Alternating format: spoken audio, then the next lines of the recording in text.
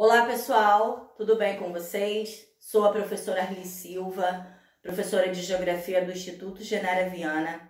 Essa videoaula vai para a galera do sétimo ano, turma 700, 701. Tudo bem, meus amores? Estou morrendo de saudade, desejo que todos estejam bem. Então, galera, nessa videoaula eu vou falar com vocês sobre as questões, né, da, do capítulo 14. Lembrando que já foi postado aí na semana do 12 do 10 a 16 do 10, do 10, é, o capítulo 14.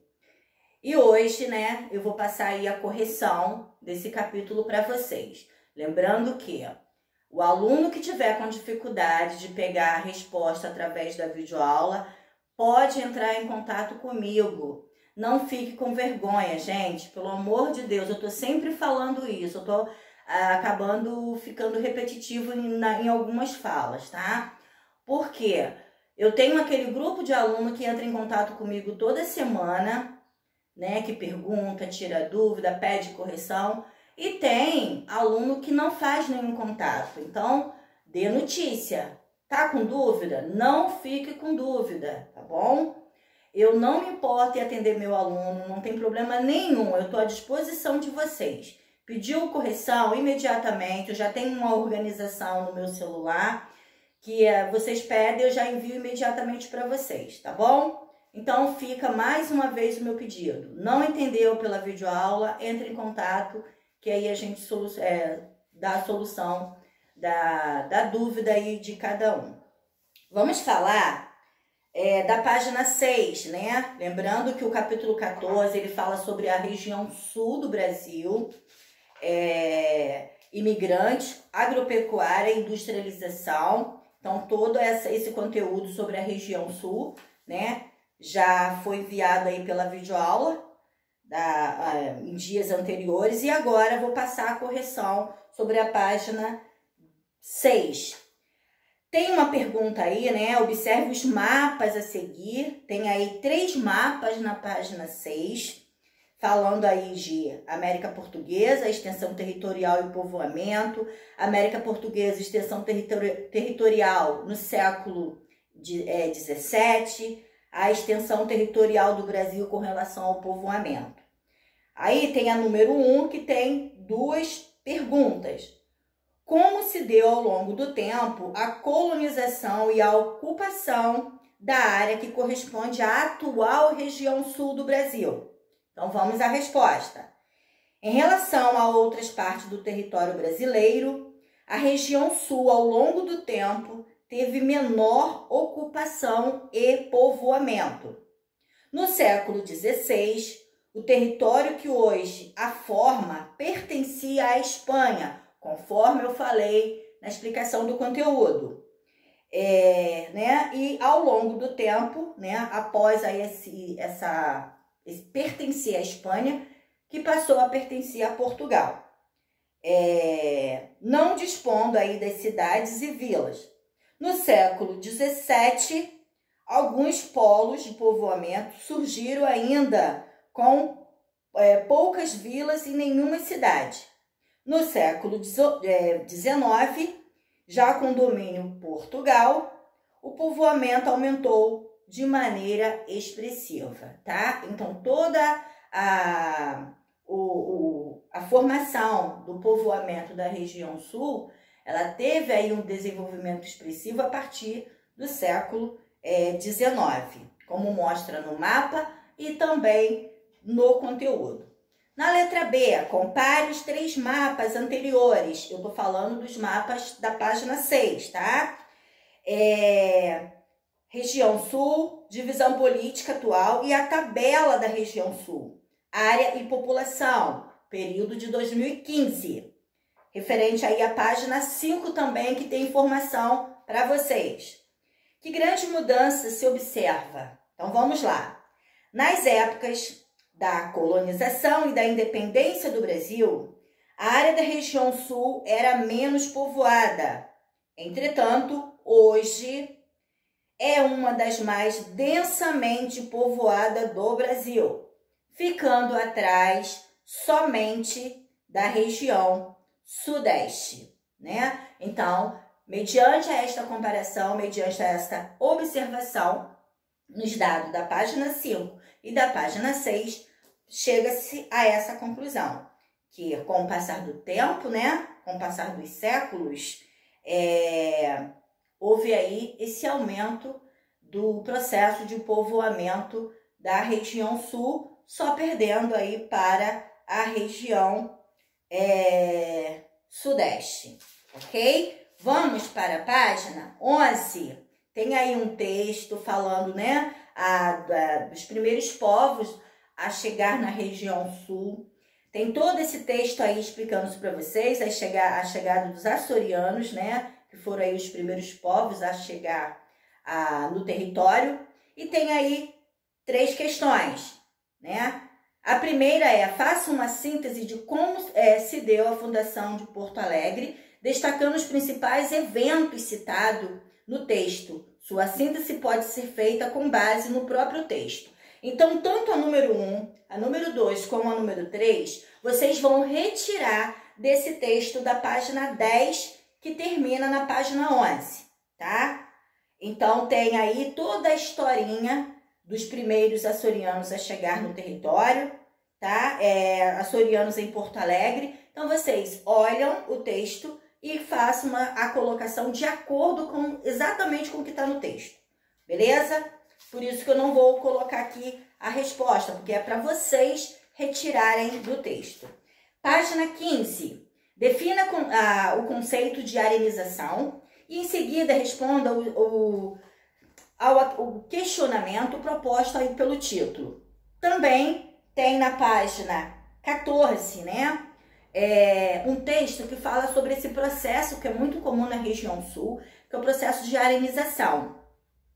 Então vamos lá. Arenização é um processo de desgaste do solo que ocorre em solos naturalmente arenoso. O uso intensivo é, da agricultura nesses solos leva ao esgotamento dos nu, do nutriente, né? Ou seja, deixando o solo é, empobrecido. É, chuvas, né? São os fatores principais, chuvas, é, mudanças de temperatura são fatores que contribuem para que haja esse processo, tá? Então, e o processo de, de desertificação, de degradação desse solo que possui índice de precipitação inferior a cento e perdão, a 1.400 milímetros anuais e menores que os índices de evaporação, como é típico da região é, Nordeste. Dessa forma, é possível afirmar que não há desertos na região Sul e que as paisagens semelhantes a processo de desertificação são resultado deste processo de arenização, tá? Então, devido todo esse processo, tá bem claro para vocês aí na página 14, realmente o solo ele fica empobrecido e não ele fica realmente sem proteção nenhuma, né? Como mostra na página 14, tem uma fotografia aí que mostra claramente isso para vocês, ok? Na número 2, em que medida o processo de arenização está relacionado com a ocupação e o desenvolvimento econômico da região sul? Embora a arenização seja um processo natural típico da região sul, ela vem se acentuando é, em razão de maior intervenção humana no ambiente, especialmente pela expansão de cultivos agrícolas no século XX, mais especificadamente a partir dos anos de 1970, né? Quando essas atividades elas começaram a aumentar, principalmente dentro da região sul. Porque a região sul, essa prática é, de atividades agrícolas, ela é muito grande. Então, com certeza, isso acaba é, danificando aí o solo, né? E como já é uma região que já tem, já existe esse processo natural de arenização, né? Mediante essas atividades praticadas na região, contribui cada vez mais para o aumento deste processo, ok? Então vamos para a página 17 explore seus conhecimentos, sinale verdadeiro ou falso e a seguir, né, tá pedindo para reescrever as falsas, ou seja, corrigindo as falsas. Lógico que isso vocês também podem fazer no próprio caderno. Quem não fiz, quiser fazer na apostila, pode fazer no caderno, apesar que no, na apostila de vocês tem espaço para isso. Questão A. A ocupação definitiva das terras brasileiras é, meridionais só ocorre com a imigração europeia? Verdadeira, tá? É uma questão que é verdadeira. Questão B. O Sul é a menor região em extensão territorial e também a menos povoada do país? Falsa. A gente acabou de falar dela ainda há pouco. É uma questão falsa, né? Aliás, é uma afirmação falsa. É... E letra C. Os jesuítas foram expulsos do Brasil devido à sua falta de atuação no sul do país. Falsa. Então, a letra B, como a gente vai fazer a correção? Embora seja a menor região do Brasil, extensão territorial, o sul é densamente povoado, só perdendo para a região sudeste, ok? Então, correção feita da letra B. Questão C, vamos fazer a correção da questão C.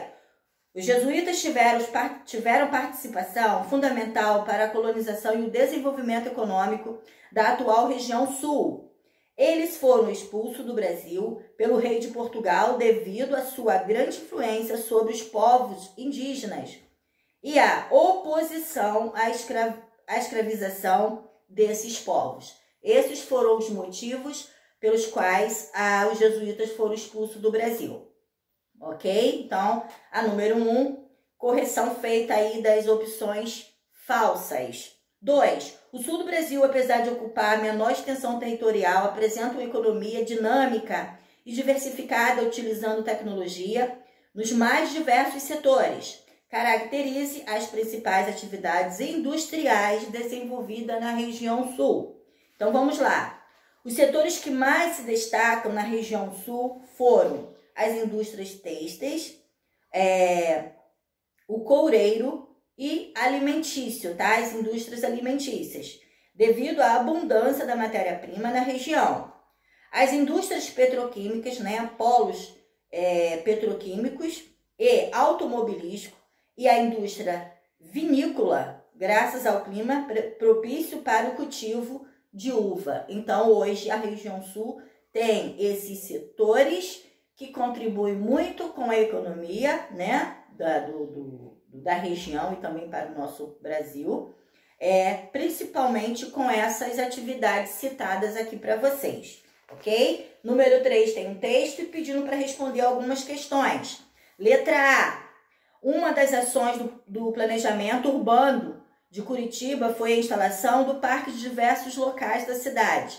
De que forma essa ação repercutiu na organização do espaço e na quali qualidade de vida dessa população? Então vamos lá. A criação dos parques, principalmente ao longo do leito dos rios, evita a ocupação clandestina dessas áreas e promove a prevenção contra as enchentes. Atualmente, esse planejamento urbano fornece a população população locais para a prática de esgotamentos, de convívio, né?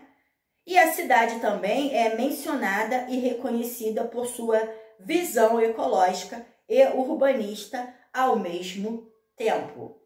Na letra B, está pedindo aí uma pesquisa, né? É, sobre alguns aspectos. A definição do planejamento urbano, tá? Então, que vocês vão olhar o conteúdo e responder com as próprias palavras de vocês.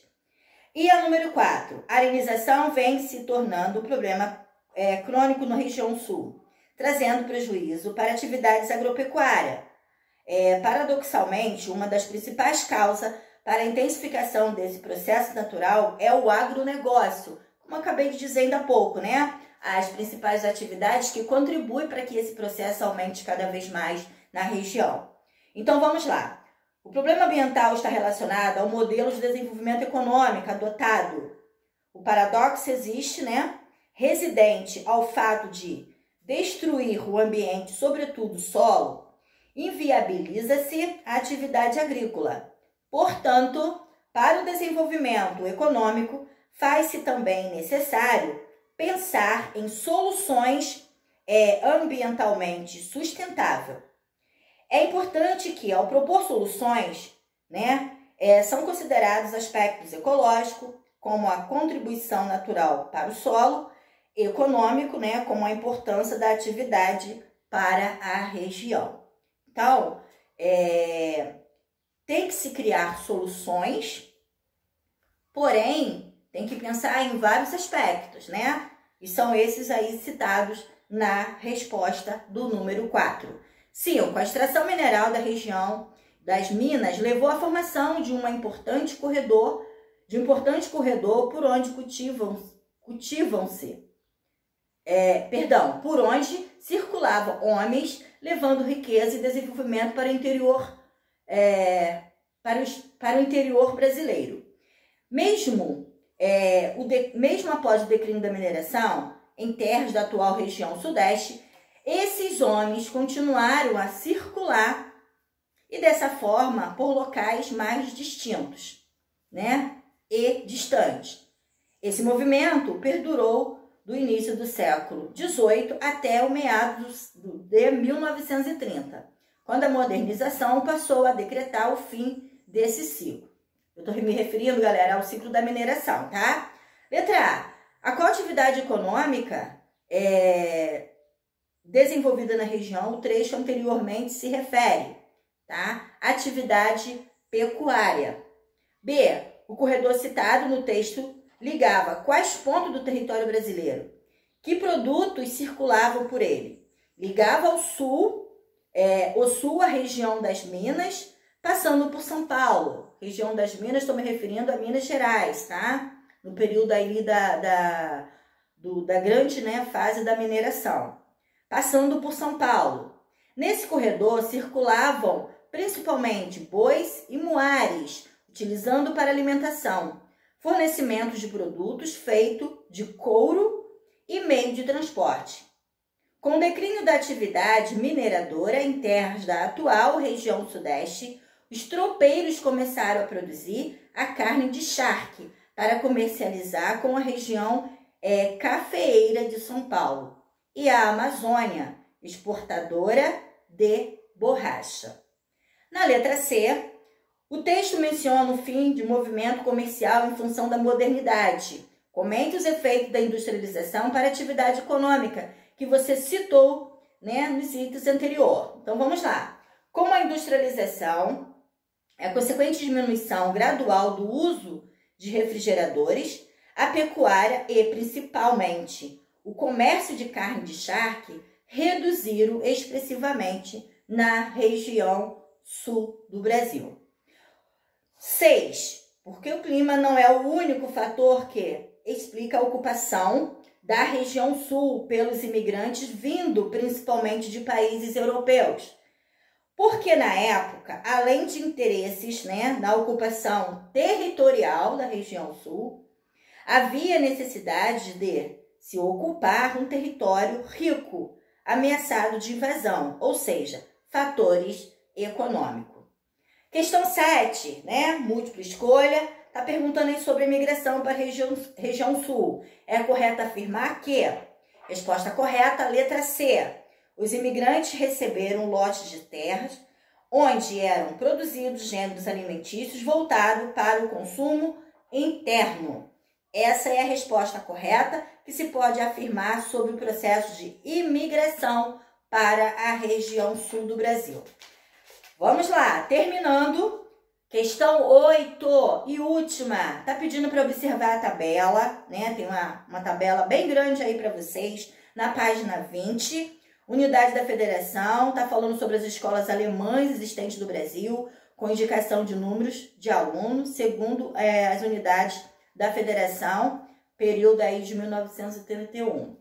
Como eu falei durante o conteúdo, né, lá na videoaula sobre a explicação capítulo 14, eu falei para vocês o seguinte, que na região sul, é tradicionalmente, né, eles mantêm a, a, a cultura desses povos, né, que são os responsáveis pela formação da população é, da região, da região sul, e eles, além de falarem o, a, né, o português, é tradicionalmente, né, dentro das escolas, manter-se a tradição de falar a língua de origem. Então, esta tabela da, da página 20 fala justamente sobre isso, né? Sobre esse, essas escolas alemães dentro da região sul. Pela leitura do, dos dados da tabela, pode-se afirmar que tem aí cinco opções né, de, de resposta, e a resposta correta sobre esta tabela é a letra C. Apesar de é, da maciça imigração alemã para os estados da região sul, o número de imigrantes no estado da, do é, Rio Grande do Sul foi mais significativo, tá? Resposta C é a correta sobre o número 8. Então, galera, beijo no coração. Coloque o capítulo em ordem. Tendo dúvida, entre em contato comigo. Se precisar de alguma coisa, estou à disposição de vocês. Beijinho, até logo.